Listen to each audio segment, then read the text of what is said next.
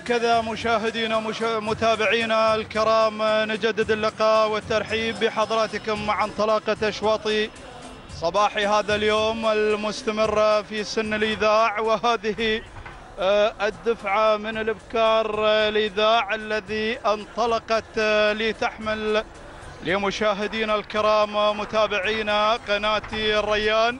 هذه الانطلاقات وهذه التحديات الجميلة والرائعة. انطلق الشوط انطلقت الشعارات ضمن هذا المهرجان مشاهدينا الأعزاء في آه، قطر في الشحانية مشاهدينا متابعينا الكرام الشوط الحادي عشر. هكذا مشاهدينا الأعزاء نعود إلى مقدمة الشوط ونرى السيطرة ونرى هذه الأسماء.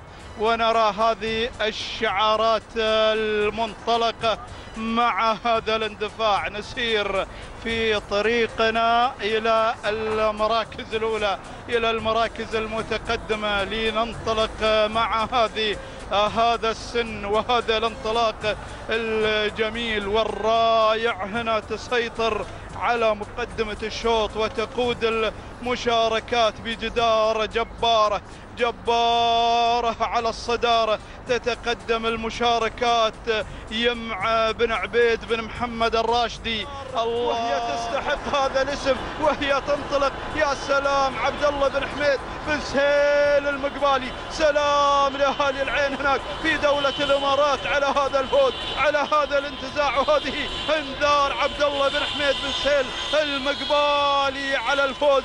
بالناموس المركز الأول بلشف المركز الثاني. رياض بن ثامر السعدون المركز الثالث. وصلت في مياسة سعود بن محمد بن سيف النيادي. المركز الرابع مشاهدينا الاعزاء الظبي لمحمد بن أحمد بن مطر بن مايد الخيلي. أما المركز الخامس وصلت في المركز الخامس الظبيه لمحمد بن عتيج بن علي الكتبي. هكذا مشاهدينا متابعينا الكرام الخمس المراكز في حالة وصولها بقيادة انذار والتهنية والناموس. نبعثها قبل التوقيت الزمني للمقبالي على هذا الفوز المستحق وعلى هذا الناموس اللي قدمت انذار مشاهدينا الأعزاء في هذا الشوط. هذا مخرجنا عبر قناة الريان عبر هذه التغطية الرائعة الإعلامية هنا آه، في ميدان الشحانية آه، يعود لنا مع التوقيت الزمني. وهذه أنذار قطعت المسافة في فترة زمنية مقدارها تسع دقائق و17 ثانية